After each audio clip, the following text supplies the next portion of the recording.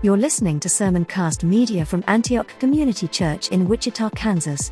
For more of our sermons, resources, or to support this ministry financially, see our website at antiochwichita.org.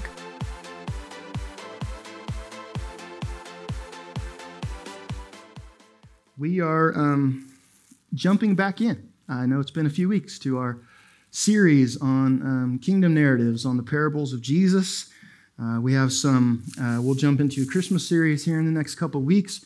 And then uh, the beginning of the year, we're actually going to uh, head, uh, like, really deep dive into some, all the things on uh, sexuality and identity. We're going to tackle that. So I'm, I'm, sure there'll be just an explosion of optimism and growth in those times and periods because reading the Bible's definition of those things is always easy to take. Amen.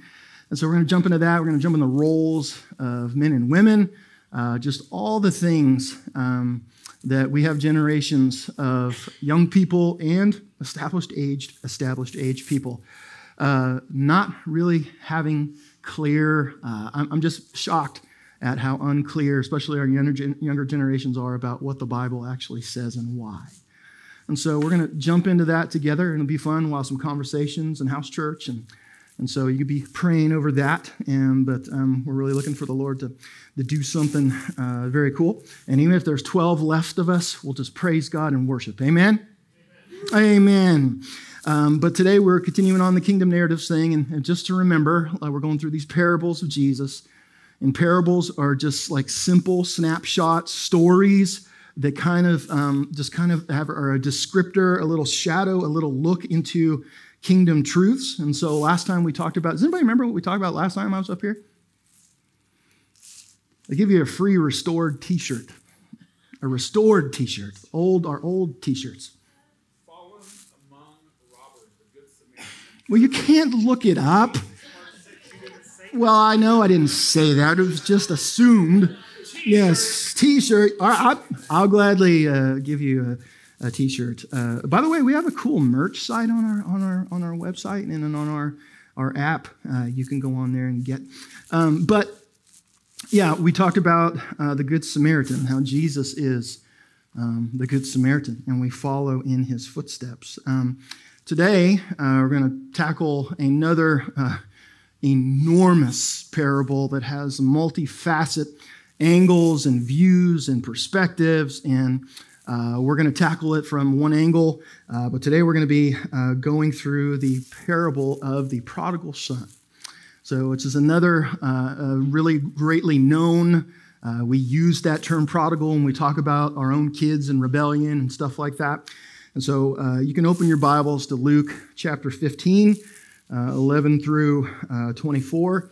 Uh, I'm, I meant to uh, bring up my paper Bible. I'm trying to use that more uh, in my preaching and teaching, uh, but then I forgot it in my office. I think it's holding something up, so I got to use it on my phone. So uh, don't uh, don't judge me for being that guy. Um, so before we get there, before we read the text together, so Jesus is in Luke chapter 15. He's he's just been doing things and teaching in parables and. while some people are being lifted up and the and disciples are are just gleaning and learning. Uh, some people are starting to hate Jesus more and more, in the Sanhedrin and the leaders of the day. And but in, uh, I'll just read this, and I, I, think I have it up there. But uh, in, in verses one and two, before we even get to our text, it says, "Now the tax collectors and sinners were all drawing near to him." Isn't it funny how they always separate tax collectors and sinners? Why do they do that? Because the tax collectors, it seems kind of funny, but they were on a whole other level of, of, of, of, of wickedness in the eyes of God's people because tax collectors in their day were uh, uh, men who were usually Jewish who actually became representatives of the Roman government and would tax their own people.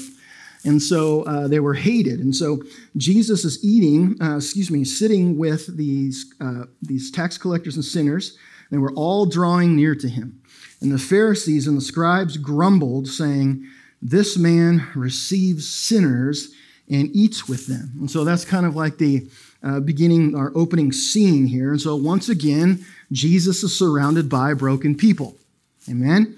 uh, religious people, once again, are grumbling about Jesus being around broken people. And the problem with it, they didn't understand is A, they were all broken, and B, Jesus came for the sick, not those who are well, but, but there is really nobody that's well. And so Jesus is sitting with busted people again. Jesus is a friend of sinners. Amen? Okay, so I don't know how it's been over the last few weeks, but I'd like this to get a more raucous. Uh, say amen. Yeah. Oh, that's good. Thanks, Brandy. That was good. All of you did really well. Uh, yeah, just help my insecurities and funnel that. So just um, and so Jesus is a friend of sinners. He came for the broken. And so this whole adage of, you know, I got to clean myself up before I come to Jesus, before I come to church, all those things are just hogwash. They're nonsense. And also, uh, for those of us who are believers and followers in Jesus, we're walking in conviction uh, because we're still continuing in some stupid sin cycles. You have to remember Jesus came to seek and save that which was lost, and he is the repairer and the heart's cry of all things that are broken. Like Jesus is a friend of sinners. Amen? He's not the friend of elitist people who are in a religious country club. He's just a friend to broken people. Now, we can hash that out and what that means. Uh, does that mean he doesn't call people to the truth? No, he was such a good friend that he called people to the absolute truth and loved them in his delivery and in the journey. Amen? And so Jesus is sitting with these folks, and then he jumps into three parables uh, right in a row, and they're all kind of similar. And the first one is the parable of the lost sheep. So everybody knows the parable of the lost sheep, where Jesus leaves the what? He leaves the 99 to chase after the one, right? And there's great rejoicing when he finds his lost uh, sheep. Uh, and then the next one is the parable of the lost coin, correct? So this woman loses one of her coins, one out of 10, seeks for it diligently, tears up the house, um, and then celebrates greatly when it's found. So you have these two parables that talk about something that was lost, and then it was sought after, and then it was found. And then we have, we jump into the parable of the prodigal son, and it's the same but different. And we're going to talk about that a little bit. So if we look in Luke chapter 15, 11 through 24, let's read it together. It'll be up on the screen, but you can read it along in your Bibles and devices. And he said, There was a man who had two sons, and the younger of them said to his father, Father, give me the share of property that is coming to me. And he divided his property between them. Not many days later, the younger son gathered all he had and took a journey into a far country, and there he squandered his property in reckless living. And when he had spent everything, a severe famine arose in that country, and he began uh, to be in need. So he went and hired himself out to one of the citizens of that country, who sent him into his fields to feed pigs. And he was longing to be fed with the pods that the pigs ate, and no one gave him anything. But when he came to himself, he said, How many of my father's hired servants have more than enough bread, but I perish here with hunger? I will arise and go to my father, and I will say to him, Father, I have sinned against heaven and before you. I am no longer worthy to be called your son. Treat me as one of your hired servants. And he arose and came to his father, but while he was still a long way off, everybody say a long way off, his father saw him and felt compassion and ran and embraced him and kissed him. And the son said to him, Father, I have sinned against heaven and before you. I am no longer worthy to be called your son. But the father said to his servants, Bring, uh, bring quickly the best robe and put it on him, and put a ring on his hand and shoes on his feet, and bring the fattened calf and kill it, and let us eat and celebrate. For this my son was dead and is alive again. He was lost and he's found, and they begin to celebrate. So, as we jump into this uh, familiar uh, story, um, we're just going to take it piece by piece and cut it up and kind of just see what the Lord has for us in it. So, as we break it down and we look at verses 11 through 12, just to read it again, just for uh, focus sake, and he said, There was a man who had two sons, and the younger of them said to his father, Father, give me the share of property that is coming to me. And he divided his property between them. So, there's actually more than one prodigal son in the story. There's two prodigal sons in the story. The other one just uh, prodigals prodigals differently. And we'll talk about that at another time. The older brother, the other brother who stays, uh, has uh, uh, different issues, but they still focus on a honestly a lack of reverence uh, for the Father. But today we're going to talk about this, this typical uh, the story of this uh, young prodigal who busts out and leaves, and he, he wants his inheritance now. Now, in those days, it was not such a foreign idea that before a father died, he could pass off inheritance to his, his, um, his uh, the people that his kids, uh, whoever he's granting to in the inheritance, or he could pass it off uh, after he dies. And so, uh, in this sense, in this instance, it is not overly weird. It was pretty rare, but it was not obscene for a father to give his son uh, his inheritance. And so, what does the father do? The father does it. The father does it. We don't seem to have any argument. Uh, Jesus doesn't talk about any long conversation. Uh, the Lord uh, just seems to point to the fact that the father just let him do it. And so, and as we look further into the story and the wisdom of the Father, and I really want to see things from not only the perspective of the Son, but also the perspective of the Father, because it's pretty impressive. Um, but we, we have to think that the Father knows his Son is doing something foolish. We have to know. Like he knows his son, like he just, I, I just, and maybe we're eisegeting here, but there's something weird about why, you know, just gives it over to his son. And we'll see this more and more as the story goes. But um, this is really a part of the father heart of God. He just uh, released him. Uh, this whole free will thing comes up a lot in the middle of this. And he releases him, gives him his inheritance, and we'll just see what the son does. And so in Luke 15, 13, says, Not many days later, the younger son gathered all he had and took a journey into a far country, and there he squandered his property in reckless living. I remember when Kale first moved out of our house, we moved into Waco, and his act of rebellion was he went and bought a bunch of Pokemon cards because his mama wouldn't let him have Pokemon cards when he was younger. So that was, that was Kale's uh, claim to rebellion. By the way, if there's something for your kid to be rebellious about, I guess that's okay. Amen? And, uh, and he spent some money on other dumb things and LARPing, whatever he was doing. But anyway, uh, but I, I didn't get it. I just didn't say much. Okay. Uh, uh, but uh, immediately the son, just a couple days later, lives to li- leaves to live a life independent of his father.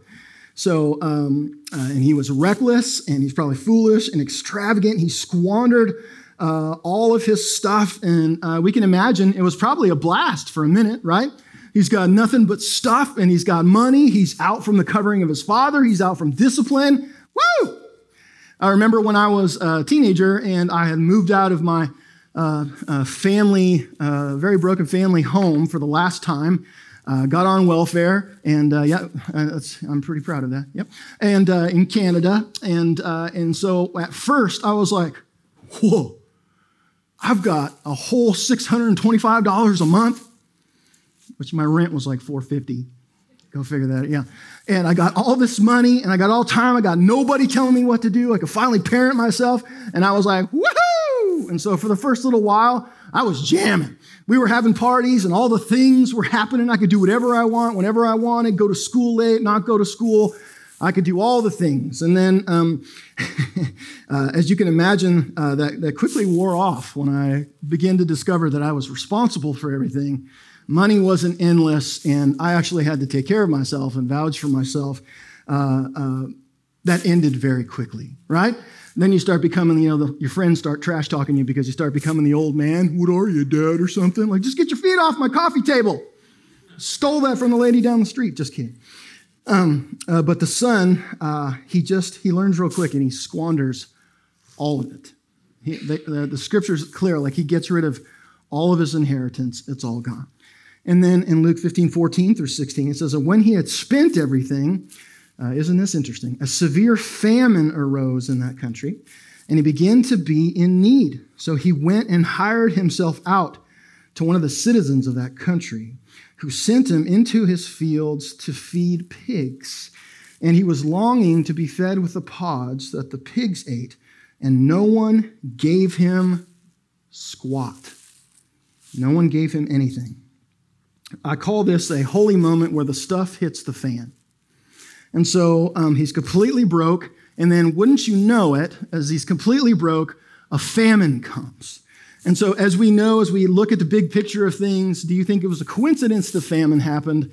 I don't know. I don't know if the, I don't know if the Lord sent famine and the rescue and the story of the heart of what's going on, but I do know that the famine just happens. Amen. And uh, and he uh, and he's in this place. So here's the problem. Uh, more important than wasting away his inheritance, uh, he is now without something far more valuable, and that is his covering.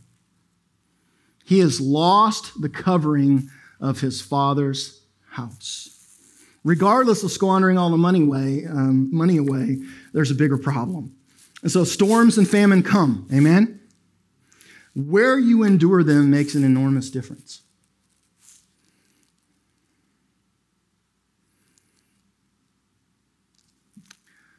This quote uh, Hard seasons are always difficult, but there is peace in the storm when you're under the covering of your Father's house. That's the thing about being a believer and a follower of Jesus. It's not about storms coming or not.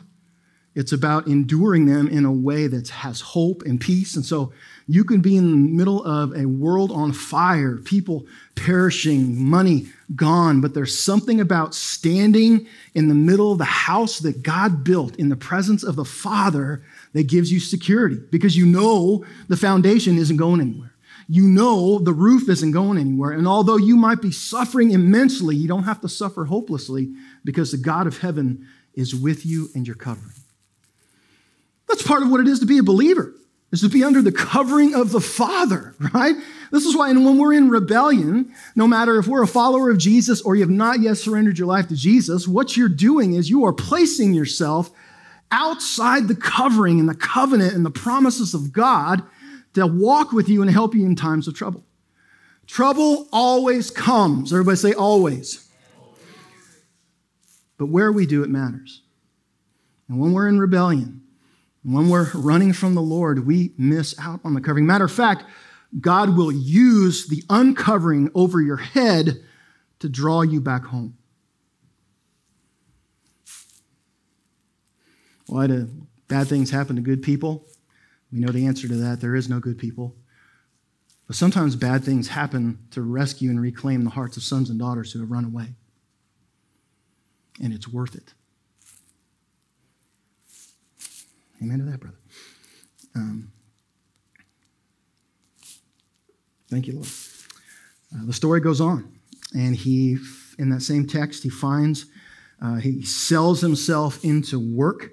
Uh, he's feeding pigs, in which uh, he doesn't say uh, that they, this is a Jewish kid, but we presume that Jesus is talking about a Jewish family. It's their context in their world. So uh, he goes from being a son living in the covering of the father in a wealthy, seemingly wealthy family to now he's selling himself into slavery, essentially, working as a servant for somebody else. And not only that, but what he is doing is completely unacceptable and offensive to the Jewish culture.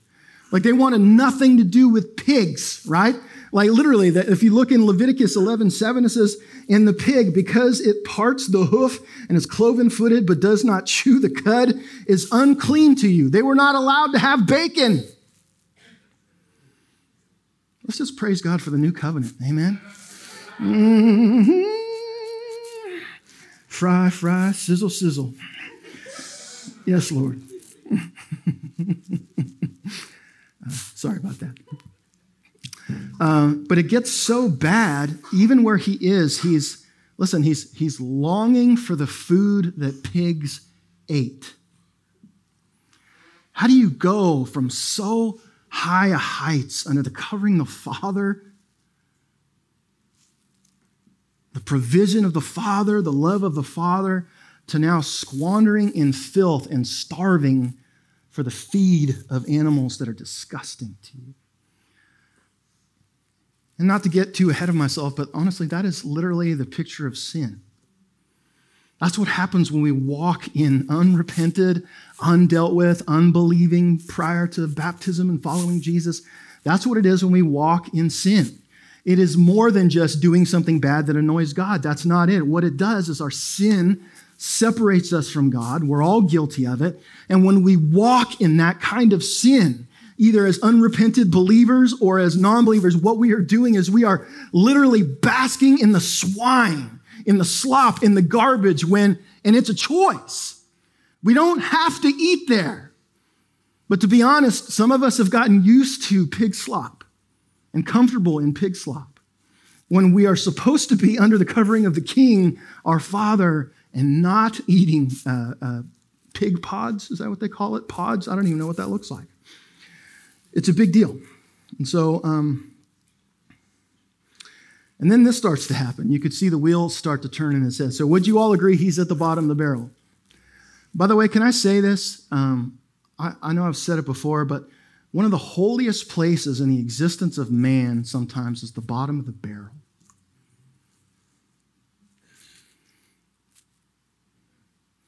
Sometimes the most holy, rejuvenating, revival birthing place on earth is the bottom of the barrel.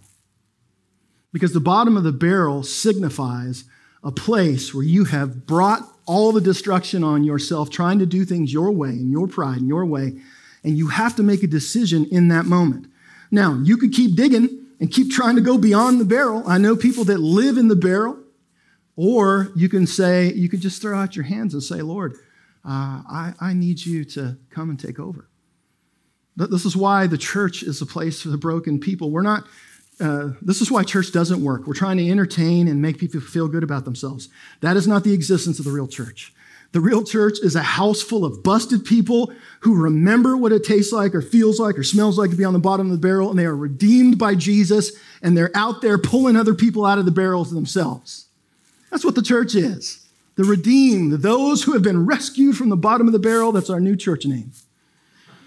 Formal, former bottle dwellers, Community Church Incorporated. Amen.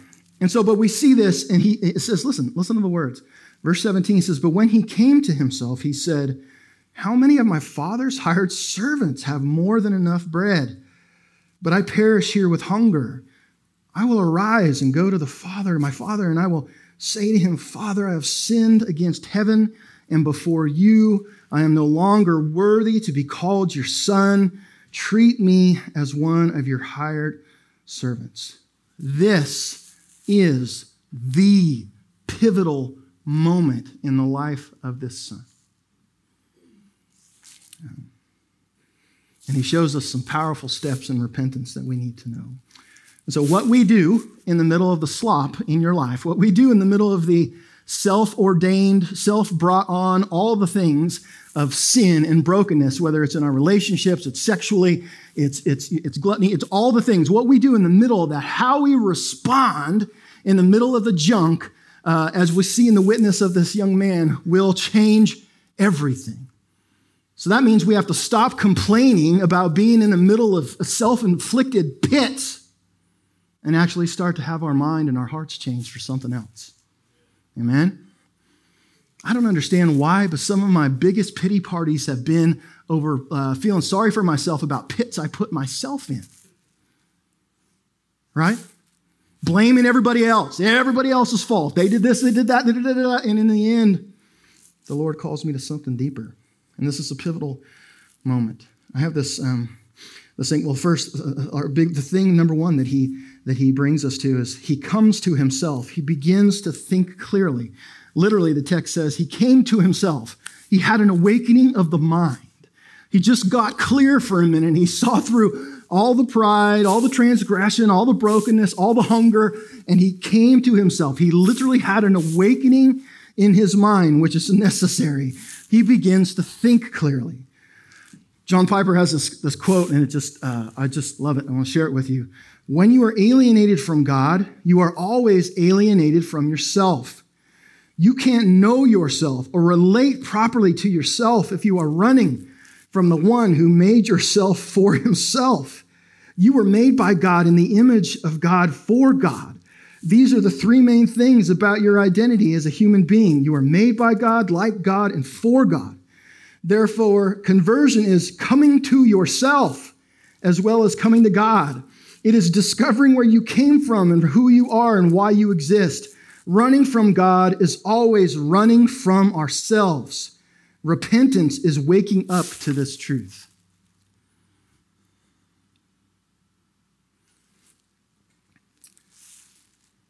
you understand what that's saying? Like you were created by a father who has very specific purposes and plans and, and heart for your life. And so when, when we rebel and we run from God, whether as a believer or not as a believer, what we are doing is actually running away from what our true identity is. Your real, who am I? I, I know, especially young adults and stuff like, I got to find myself, man. You can find yourself flat in the middle of the scriptures. You don't need to find yourself. All you need to do is realize who you are in Christ Jesus. Now, there's, there's truth to like, oh, what am I supposed to do? Those are all Jesus questions, though. Those aren't go sow my wild oats for a couple years, act like a fool, and find who I'm. Like, you know what you're going to find? You're going to find a sinner far from God. And the answer to that is coming back to center. In this pivotal moment, this young man, all of a sudden, out of nowhere, his mind flips and he's starting to see clearly and realize his identity problem. And so the second thing he teaches us, so one, he comes to himself. The second thing he teaches us, he re- remembers the goodness and abundance of the Father's house. He starts thinking, and you could see him starting to mull this over, and he's like, whoa, even, even the servants have more than enough. The servants are good. And so I know what I'll do. I'll just be a servant. I'll go groveling. Uh, he's not focused on what he can bring. He's not focused on being paid for good work. He's like, I will grovel, and it's not about what he can offer, it's about the abundance of the Father's house he starts to remember, which is a good thing for us to remember in the middle of our squander, the middle of our rebellion, the middle of our prodigal seasons, how good the goodness of God was, how good the Lord has been to us, what it was like to actually wake up without horrific conviction and the walk in peace and the walk in hope and have the power of the Holy Spirit. One of the most Christian things you can do as a disciple of Jesus is remember. Remember the good things of God. Remember the power of God. Remember the hope and covering of God. Um, Piper has a, another quote. Piper just has really good stuff on this, but repentance is believing that God is so great and so good that the smallest enjoyments of his house are better than 10,000 worlds without him. The son is like, man, the scraps of the food of the servants in my father's house are better.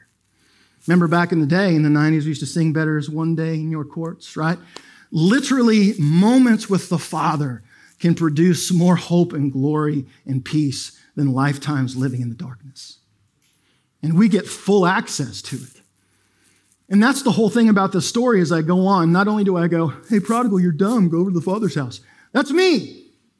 How many times have we been the prodigals? And it's so ridiculous because I am building a life in mud when I have a house built on the rock. Right? That's what I'm doing. That's what my sin is, my sin struggle. What it is, is alienating me from the Lord and my inheritance and walking with the God of heaven. The third thing he does after coming to a realization and starting to think about the Father's out is he humbles himself. Listen, he, Father, I have sinned against heaven and before you. I am no longer worthy to be called your son. That just going back to the text. Um, this is the fulcrum point of the story, I like to call it. Like the Lord allowed him to go through self inflicted junk to realize that self inflicted junk are not enough to carry him and to lead him into a prosperous life. He comes low. Everybody say low. Low, low, low. I don't, I don't know stuff. Okay. By the way, this low thing, some people think, well, that doesn't, that doesn't sound very nice. God just wants us to be low, uh, to be low. Uh, listen, humility and meekness and lowness are the only posture for followers of Jesus. Because when we, and people are like, well, that sounds kind of weak. Aren't we strong in the Lord? Listen to what I said. We are strong in the Lord. In my own two feet, in my own strength, in my own heart, in my own mind, I'm wicked to myself. And the lower we get, the stronger we get because the lower we get, the less we come out and the more He is, is glorified and the power of God comes through our lives. Get over yourself. Get onto the power and the peace and the kingdom of God. That's how we become strong. Not by how I vote or what I do or my church attendance. None of that. It's by how I humble and low myself before the God of heaven. And that starts to happen. And we see this all throughout the scriptures. One of my favorite verses in all the scriptures is in the Beatitudes in Matthew 5 3. Blessed are the poor in spirit. Listen, for theirs is the kingdom of heaven. We've said that for years. The translation of this means spiritually bankrupt. Blessed are people who are spiritually bankrupt. Why? Because spirit, people who are spiritually bankrupt give up and surrender to the one who does. We got fooled into thinking a long time ago that strength was something other than that. James 4 6 says, He gives more grace. Therefore, it says, God opposes the proud, but gives grace to the humble. Uh, what's the best way to win in any situation or fight you're in with? Jen gets mad and we have like marital spats. It doesn't happen very often, once every few years.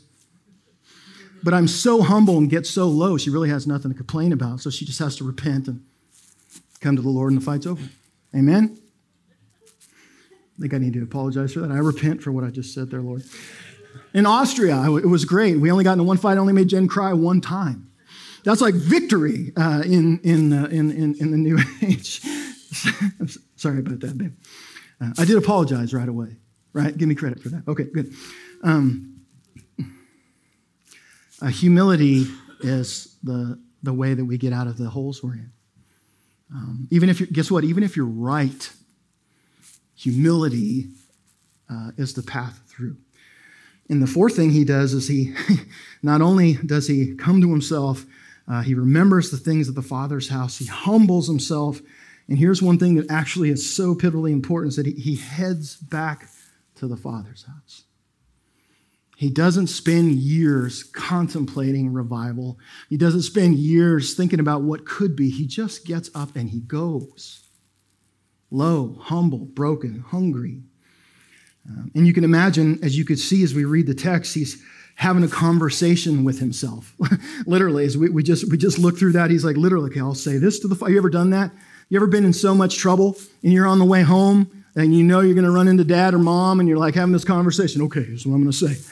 I didn't mean to do that. I knew I was supposed to be home, but then an alien came and then I got abducted and all these things. And so you've got your story perfectly worked out, right? you've got it. And you bring the delivery, and, and, guess what? Uh, literally, what you say doesn't really matter a whole lot. Uh, you're going to get whooped. Amen? At least in a good, solid, biblical household. sorry. um, I'm not sorry. Uh, he, he, he uh, he's just low and he's talking to himself. Um, here's the thing is that uh, he could have just stayed there. I want you to listen to this. He could have just stayed there and done several things. He could have tried to ride it out and change his perspective on where he was. I call it the um, doctrine of polishing turds. it's oh, a head shake over there. Uh, it, literally, uh, some of us, instead of surrendering and going to the Father, we will take the dung hole we're living in and we'll just try to renew our perspective and paint the walls and make it acceptable. Right? But guess what? There's no Father there. There's no food for your soul there. You just have a painted turd. It sounds, but I want it to stick in your brain. Like I know some of you have been to the the uh, the mindful Home Depot and picked up supplies to go and to refinish your turd space. Am I wrong? I mean, this is what it is. Like you try, like you're trying to get tenacity and you're trying to build up, you know, you're trying to get fervor and just try to stick things out and be resilient. Uh, and then in the end, what are you doing? You literally have a pretty painted pile of dung. And that sounds, sounds funny, but that's what we do. Instead of running to the Father, going back home low, we try to make it and be resilient. I know people that have been stuck in there, and I've probably done it 10 or 20 years because they're angry or they're ashamed or all the things, and they just won't leave it and go back to the arms of Jesus. Doesn't matter if you go to church, doesn't matter all this. I'm talking about literally running to the arms of the Father with lowly hearts, humble hearts, confession, and just, I need you.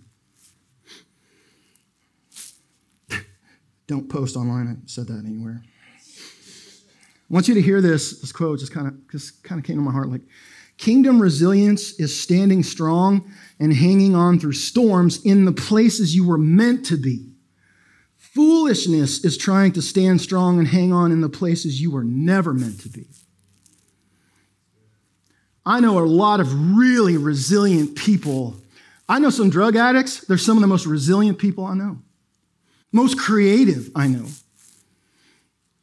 I know some people that walk around harboring unforgiveness and hate for somebody that hurt them, uh, and they are resilient, but they are not free.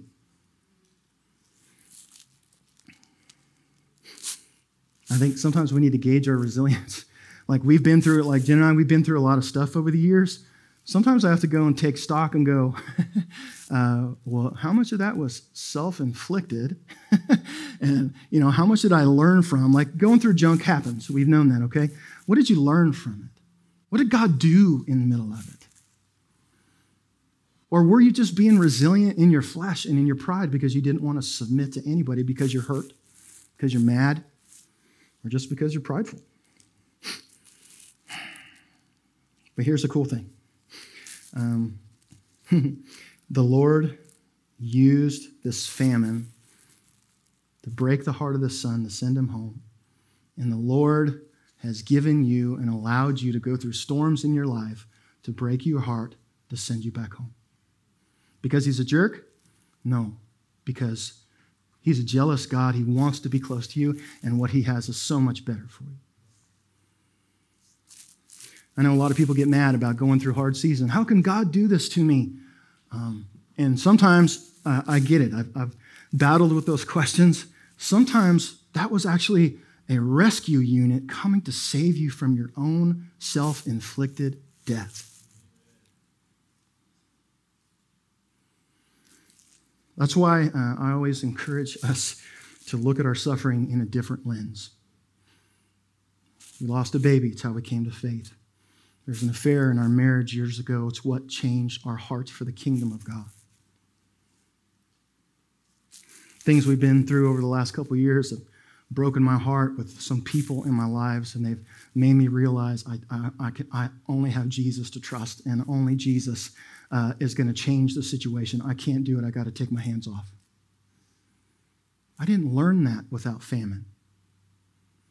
I didn't learn that without pig slop. I didn't learn that without being rescued from my rebellion.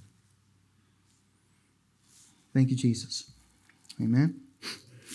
But this kid, uh, I call him a kid, he, he passes all that. And so it says in Luke 15, 20 through 24, he says, Listen, and he arose and came to his father.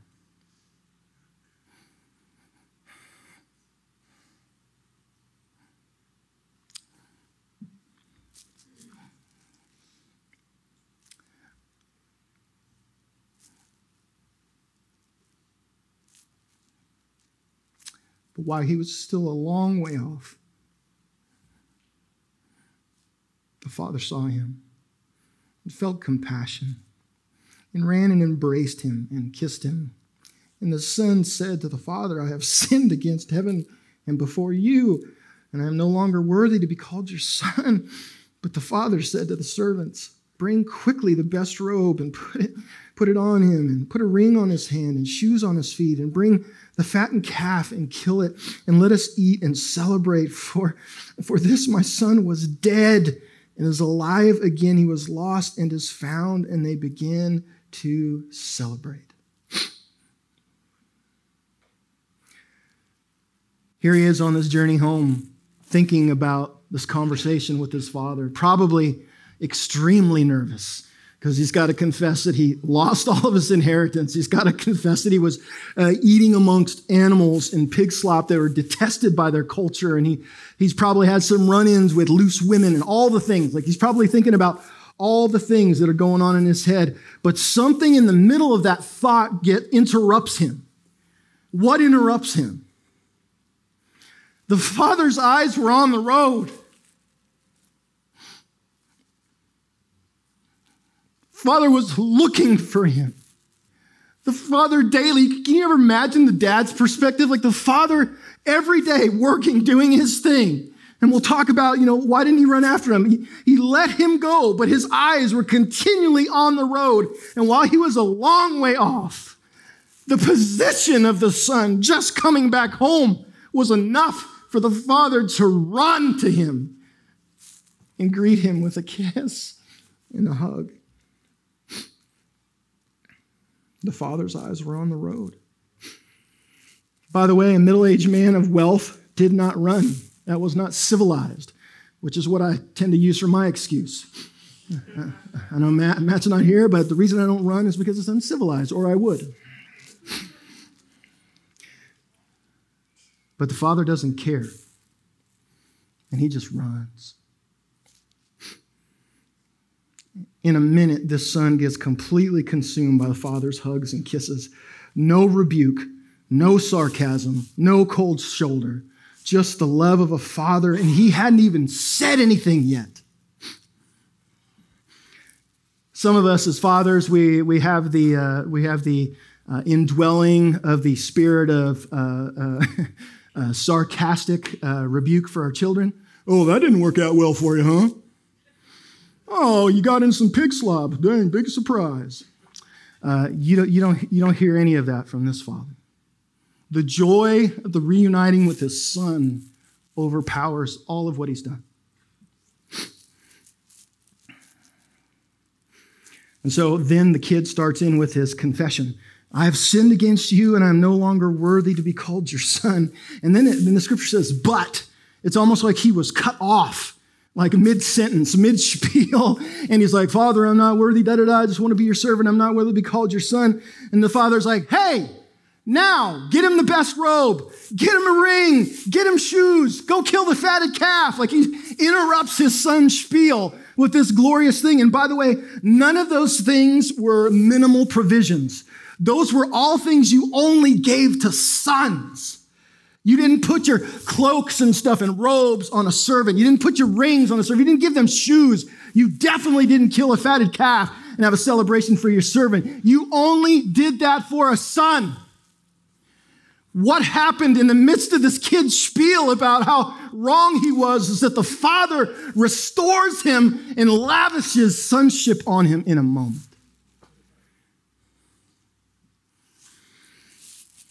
Y'all, if, if we don't understand that this is what happens when sons and daughters turn back to the Lord, then you're missing it. Every one of these parables about the lost coin, the lost sheep, and the lost son, they play out in different ways. All of them end with one thing celebrating. Joy in heaven. The angels are worshiping and praising and celebrating because he loves that son.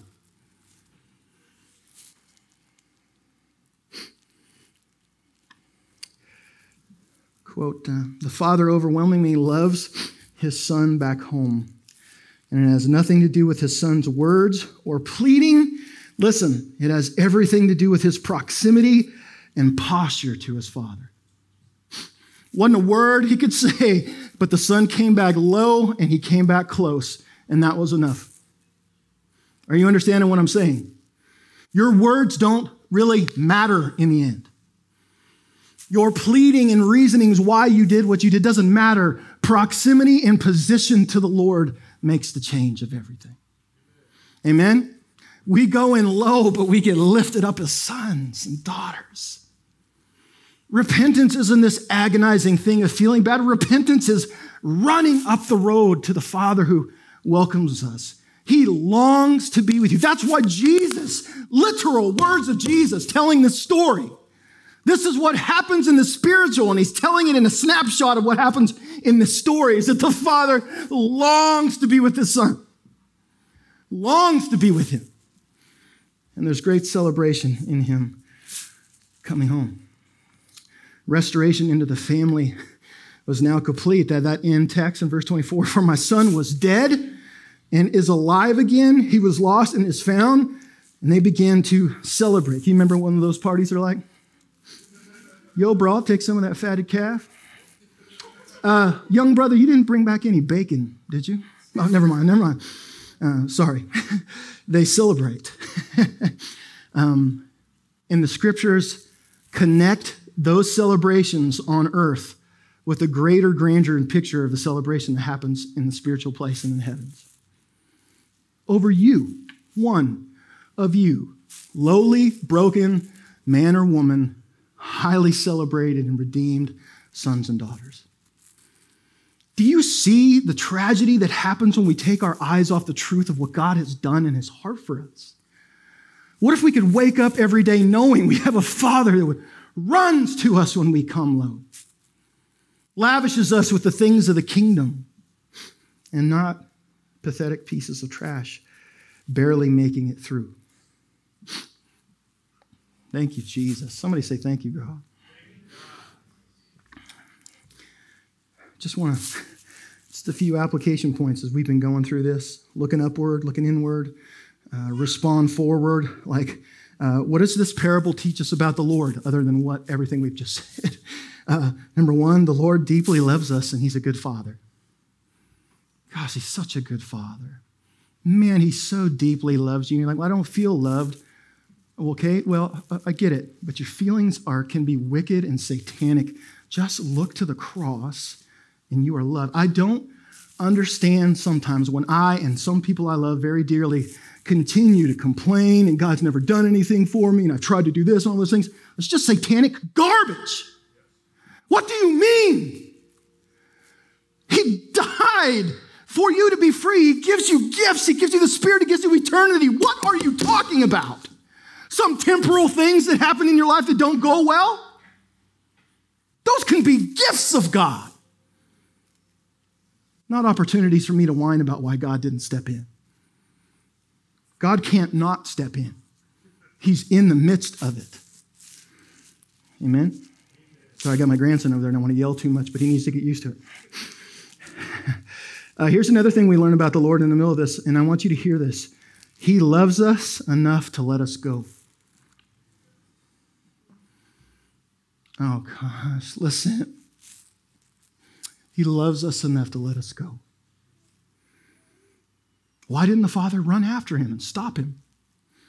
What, look, we see in the, in the parable of the sheep and the coin that somebody actually went and looked. And in this parable of the son, he didn't do that. Why? Listen, sheep get lost and can't find their way back even when they want to come back. They have to be found. This is a salvific picture. Number two, a coin doesn't know it's lost. A coin is a coin, but it's searched out because it's treasure to the owner. Praise God. Well, listen, to truly.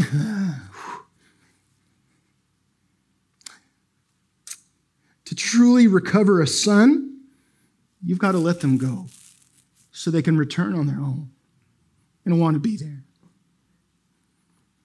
You have to release sons and daughters to want to be there. That's why this free will thing is such a big deal. But the Lord loves us enough to let us go. And there's a lot of scripture in the New Testament talking about people who are in uh, unrepented sin. We're supposed to hand them over, pray them over to the hands of the enemy, literally, so hopefully that there's a chance in the middle of that brokenness that they would respond and come back to the Father. Sometimes the only roadway back for some of us that are so stubborn are literally with the breath of demons breathing down our necks. And the father knows that. Well, how could the father let him go? Think about if the father would have ran after him and brought him back. Would he have really have had his son? No, he wouldn't have had his son. He'd have somebody living there serving him who always thought about being somewhere else and wasn't honoring and loving and coming underneath the covering of his father. That's you and me. Why did I go through this hellacious time? Why didn't God save me? Because God, not all the time, but I'm sure that part of the story is God wanted you to come back and want to be there on your own. I don't want my kids to love me because my title is dad. I want my kids to love me because I'm their father. Why so many of us have a disconnect issue with our dads. And his eyes are on the road. Do not think for a minute that when you come back to the house of the Father, there's disappointment and and, and angst waiting. He's his literally, can you imagine all of us at one point salvifically we surrendered our lives to Jesus for the first time at Warrock, we were met by the God of heaven running to us to embrace us, to put us on and clothe us in the heavenly things. Same thing happens, brothers and sisters, when we repent from seasons of sin and being rebellious. The Lord welcomes you back.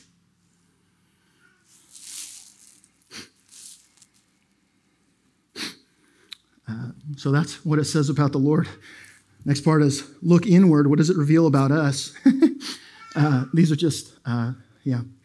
Uh, number one, uh, we're just dearly loved sons and daughters of the Lord. The question is, is that enough? Like you're a dearly loved son and daughter of the King of Heaven. It's not a trumpet, is it? We're not going? I don't care about all them, Lord. Just take me. No, I'm just kidding. No. Take us all, Lord. Um, um, man, you're, you're not just servants. You're not just screw ups in the eyes of Christ. You are, the, you are the redemption target of God. You're loved. You're so deeply, deeply loved. Um, and the next one in that is no matter what we've done, we can go back home if we would humble ourselves. Uh, no matter what we've done, we don't get downgraded to servants when you're already a son. You hear me? We don't get downgraded to servants when you're already a son. Doesn't happen that way. I make jokes sometimes, like if I get to heaven, I'm okay with being in the janitor's closet, right? I mean, I literally think that way. Like, I just want to be there. Put me in the basement of the up top, not the lower basement, right? Put me underneath the floor, God. I don't care. I just want to be there. But in the end, that's foolishness because the Father is waiting for me, right? Uh, and when I repent, um, no matter what I've done, no matter what, y'all, I have seen uh, worry warts get redeemed in this, and I have seen sexual abusers get redeemed, whether you like it or not. Men and women who sin, no matter what the sin is, there is redemption in Christ Jesus. Nothing you've done will make the Father run away from you. I'm going to say this. Uh, another thing for us in this is this is a roadmap on how we treat prodigals in our own lives.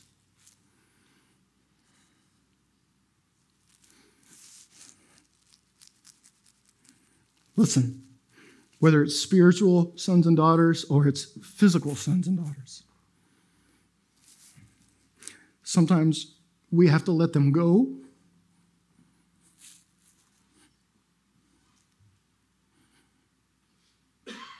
To get them back.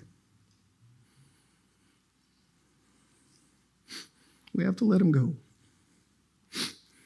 Um, I wrote this down like enabling and chasing after prodigals can lead to a catastrophic lack of repentance and submission to the Father. Sometimes you just can't love and hug it out of them. Sometimes they have to go and sit in the filth of their rebellion. We have to let go. And like a prodigal father, you sit every day staring down the road, staring at the gate, screaming in your heart, Please come home.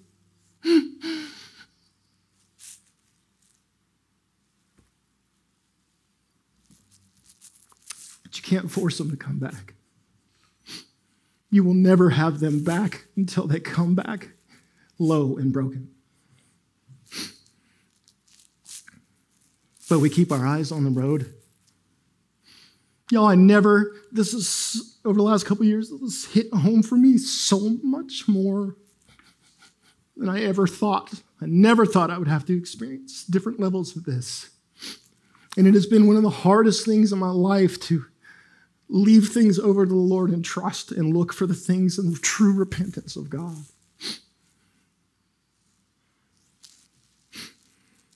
But when they come home, we don't go with our sarcasm and we don't go with our angst. We go with rings and robes. And we welcome spiritual or physical sons and daughters home. And uh, I've said this a lot. Uh, and you, Just use wisdom and what it looks like. Because if there's a spiritual son or daughter, physical son or daughter, who wants to meet you at the gate and give a list of terms about how they will surrender their things if this, this, and the other works, that's not, they're not ready yet. They're not ready yet. But please come home. And last but not least, just how do we respond in obedience? A million things. Number one, if you've never become and surrendered your life as a son or a daughter to the living God, what are you doing? The God of heaven, there's all the things you've done. He's seen every single thing you've done. And the blood of Jesus washes it. He just wants you to come. That's what it is when we surrender our lives to Jesus. We are saying, I can't do this anymore. God, I need you. I believe. God, help my unbelief. God, fill the void of my life. Come and you are Lord of my life. If you have not done that, you need to surrender. Secondly, if you're a son and daughter, but you've been living like a prodigal, come home. Aren't you tired of the painted slop? You think it's better to be stuck and self justifying in the middle of that porn addiction, inappropriate relationship, hallways built of anxiety and worry than it is in the, the house of the Lord? You've got to make a literal physical step to come low and to remember that I can't do this and come back up the road to the heart of Jesus. And you know what? Well, it's embarrassing if I do that. Well, people I won't think, that is satanic. Let me yell quietly. Knock that off. Uh, the last two things. Uh, thank God for the broken road. I'm, gonna, I'm two inches short of a country song. Uh, thank God for the broken road that led us back home. I am so sorry for the things that you've been through, but man, you've got to see. Maybe those are the very things that God used, as broken as they were, to champion you, to, to, to seek after doorways and build roads back home for you.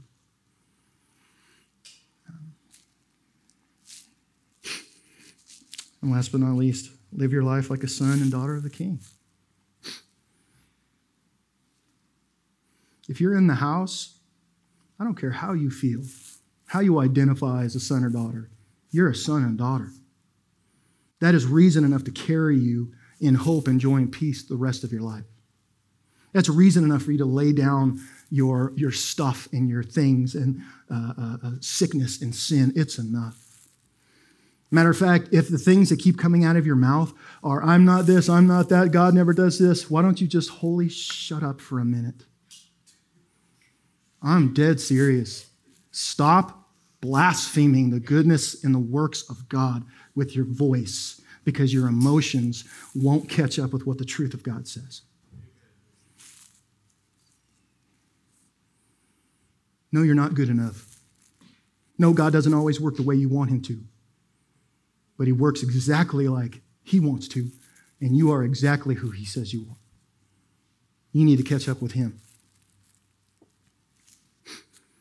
Well, that was jerky. We're going to go into a time of worship, and got this short this intro video into worship, and um, I would love more than anything this morning for there to be I just, this is a weird prayer, but Holy Spirit, I pray right now that you would illuminate roads this morning. I'm just praying, like literally, wherever you sit, wherever you are right now, that a road comes in the Spirit and just this road that you don't know where it's going, but you need to know it leads back to the heart of the Father. Like you've never surrendered your life and you were going to walk in the road the first time. I'm serious. Hell is a real place, but so is heaven in the promises of God. And it's a free gift for those who would bow their knee to the Lord. And if you're a son and daughter who's returned, like you went back to the house of slop and you're in the middle of that season, burn it down and come home. Repentance and lowliness and confess to somebody else in the room, come forward and give prayer. If anything else resonated with your heart today, man, just would you please respond? The person that is beckoning your heart right now is that father with his eyes on the road, longing for you to come back. even if it's just situational.